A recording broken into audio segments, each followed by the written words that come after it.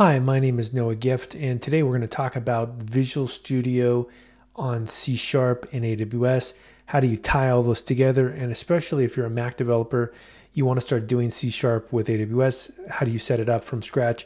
Okay, let's go ahead and dive in, and I'm going to go through step by step on how to make sure you have an AWS environment for your Mac C Sharp VS Code configuration. All right, so I have a Mac here, and this Mac machine is an M1 machine, in fact, and you can take a look at this. It's a 13 inch M1 20, uh, 20 16 gigs of RAM, really a very performant machine. And inside of here, I have Windows 11 running. And what I'm going to do is I'm going to set up Visual Studio and going to get it ready for developing with the AWS environment. So let's go ahead and dig into this.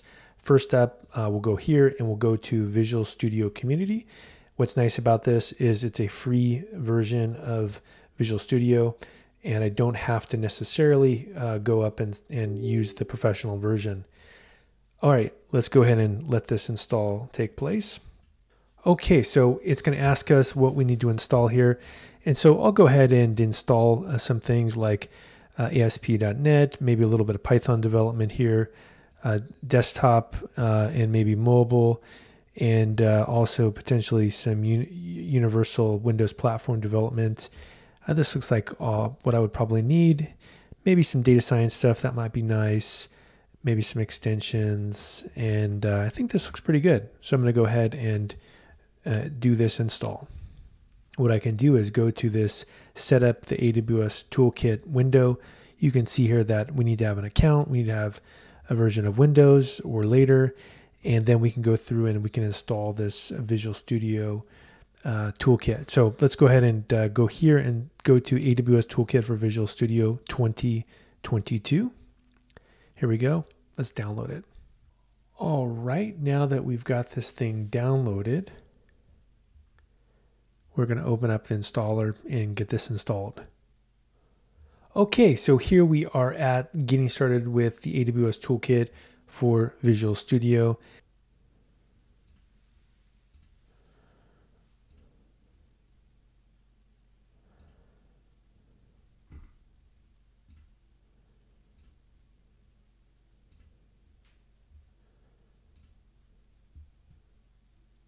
Okay, we're in Visual Studio now, and I have the AWS Toolkit installed.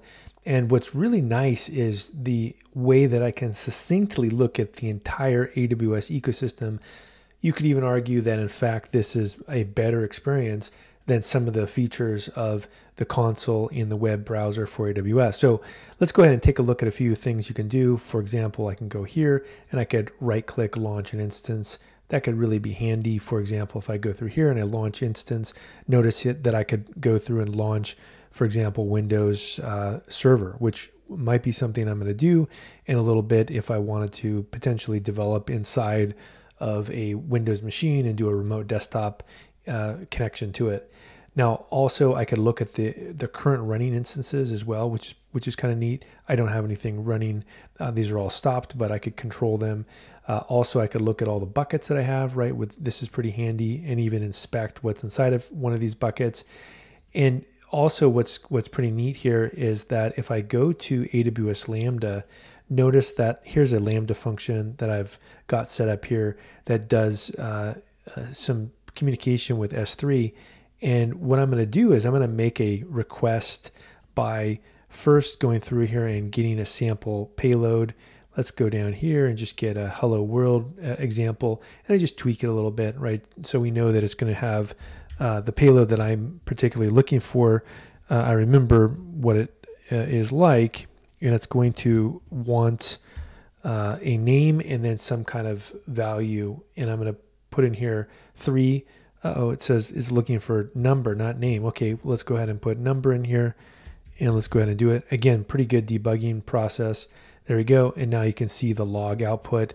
And this is actually invoking this remotely on AWS and I could, if I wanted to, do a JSON pretty print and, and, and, look at the, the result. Now, if I go to a Marco Polo function, this might one might be a little bit cleaner. Uh, I again can go through here and look at all the different payloads, right? And, and so what I'm going to do in this example is I'm going to put in the brackets again, and I'm going to say, uh, for example, uh, name, and then do Marco, and let's see what happens. Uh, go ahead and run this, and we can see here that it passed this in, and uh, we can see that this response back here was Polo. So I can fully interact with this environment in AWS from inside of Visual Studio without even needing to log into the console. So this is one way to be productive, especially if you've already had .NET code running in production. The other thing you can do, if we go to new, is we can go ahead and create a new uh, project. And then notice here, uh, I did some filtering. I looked for C Sharp AWS Cloud projects. And here we go. We can see that these are different projects. I could scroll through.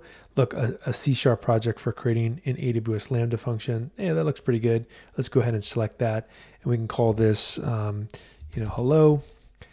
Uh, and if I go through here, I can create this. And then it gives me a few different options here. What do I want to do? Do I want to create an empty function? Do I, do I want to detect image labels with Rekognition? You know, what, what is the thing I want to do here? I'm going to go ahead and, and select the empty function and then go ahead and uh, finish. And then you'll see that it, it'll populate my environment here with a full C sharp project that's set up for Lambda. And then I could deploy this project if I wanted to into that cloud based environment. Now let's go ahead and take a look at this. There you go. You can see my C sharp code.